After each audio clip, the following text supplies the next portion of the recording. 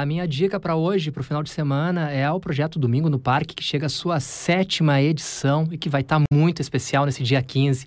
13 vozes, fe, vozes femininas aí, compositoras e intérpretes aqui do Rio Grande do Sul, vão subir ao palco do Auditório Araújo Viana a partir das quatro da tarde, acompanhadas pela Banda Municipal de Porto Alegre. Elas vão cantar clássicas da MPB e também algumas composições próprias.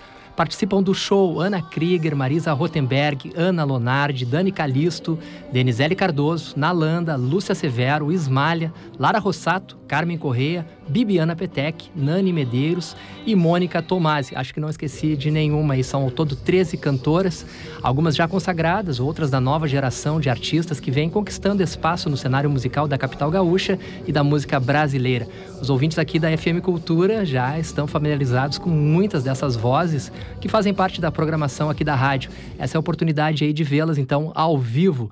O espetáculo vai iniciar com a banda municipal executando Ponteio do Edu Lobo, depois segue com canções que marcaram a história do Brasil, como para não dizer que não falei de flores do Vandré que vai ser interpretada pela Lara Rossato, e Alegria, Alegria, do Caetano, que vai ter uma versão feita pela Ismalha. Na sequência do show, a Denizele Cardoso vai cantar Arrastão, do Tom Jobim.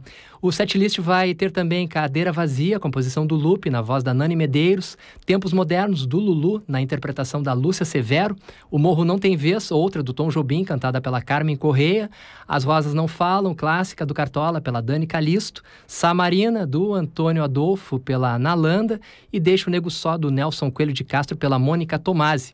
O show também vai ter espaço para músicas próprias, como Desavença, da Bibiana Petec, e Não Se Proteja da Felicidade, da Ana Lonardi. No encerramento, teremos a reunião de todas elas aí, com a banda municipal interpretando uma obra famosa do Ari Barroso, Isto Aqui, O Que É.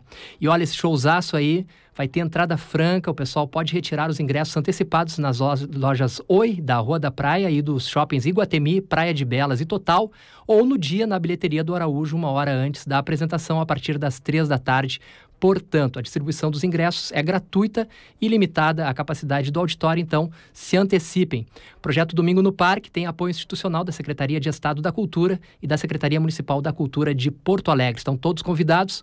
Um ótimo programa aí para este domingo, Clarissa.